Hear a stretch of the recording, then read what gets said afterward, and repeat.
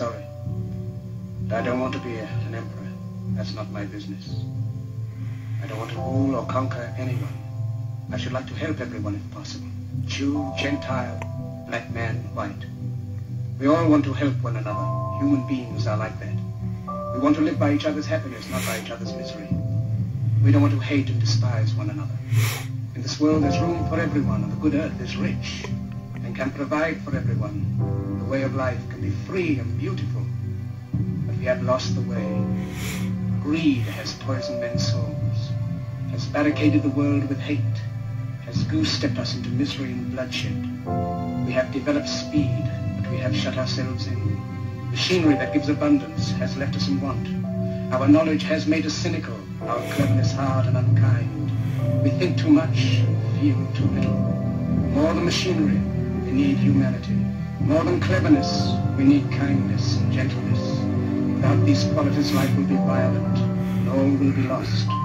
The aeroplane and the radio have brought us closer together. The very nature of these inventions cries out for the goodness in men, cries out for universal brotherhood, for the unity of us all. Even now, my voice is reaching millions throughout the world. Millions of despairing men, women, and children.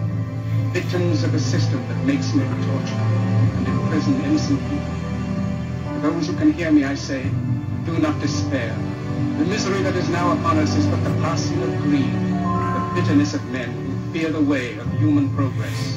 The hate of men will pass, and dictators die, and the power they took from the people will return to the people. And so long as men die,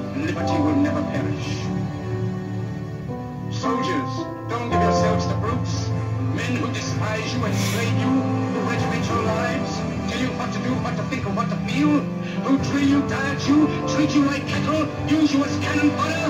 Don't give yourselves to these unnatural men, machine men, with machine minds and machine hearts. You are not machines, you are not cattle, you are men. You have the love of humanity in your hearts. You don't hate, only the unloved hate, the unloved and the unnatural. Soldiers, don't fight for slavery, fight for liberty. In the 17th chapter of St. Luke it is written, the kingdom of God group of men, but in all men, in you. You, the people, have the power. The power to create machines, the power to create happiness. You, the people, have the power to make this life free and beautiful, to make this life a wonderful adventure. Then in the name of democracy, let us use that power. Let us all